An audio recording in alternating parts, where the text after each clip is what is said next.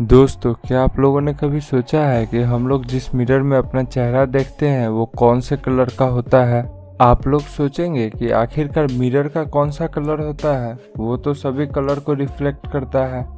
Firstly तो किसी भी चीज़ का कलर इस चीज़ से डिसाइड होता है कि वो कौन से कलर को रिफ्लेक्ट कर रहा है। जैसे कि कोई चीज़ हमें रेड इसलिए दिखती है क्योंकि वो सभी कलरों को ऑब्ज़र्व कर लेता है और सिर्फ़ रेड कलर को ही रिफ्लेक्ट करता है। और अगर वो सारे कलरों को रिफ्लेक्ट कर देता है तो वो व्हाइट कलर का दिखता है।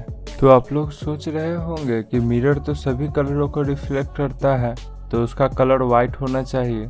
जैसा कि स्नो का होता है। स्नो लाइट को सभी डायरेक्शन में स्कैटर करता है, जिसके कारण वो हमें व्हाइट दिखता है। लेकिन मिरर स्नो की तरह लाइट को रिफ्लेक्ट नहीं करता है।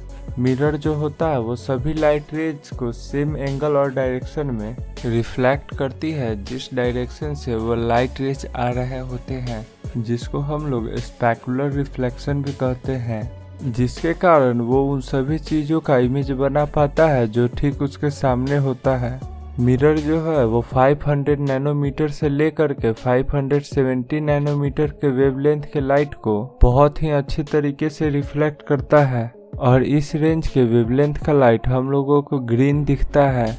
और हम लोग इसको ऑब्जॉर्व कर सकते हैं अगर दो मिरर को ठीक उसके आमने सामने रखा जाए, जिसके कारण वो एक दूसरे का सेम इमेज ही बार बार रिफ्लेक्ट करेगा, जिसके कारण वो हमें ग्रीन दिखने लगेगा।